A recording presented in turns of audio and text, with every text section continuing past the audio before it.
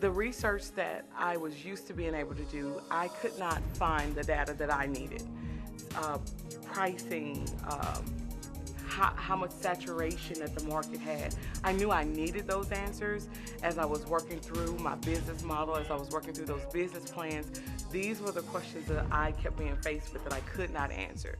So it allowed me an opportunity to continue to come to the LSBDC to present to them the uniqueness of my issue.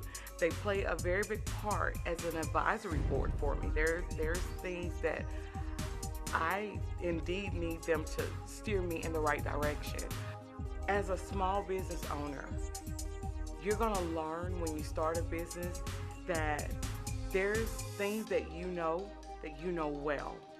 That when you start running a business, you are now faced with all of the areas you know nothing about, that no one warned you about. Nothing is going to be easy about starting your own business but it is great to know that I have a team that I can come and sit down with, even if I'm just trying to get clarity of where I need to go.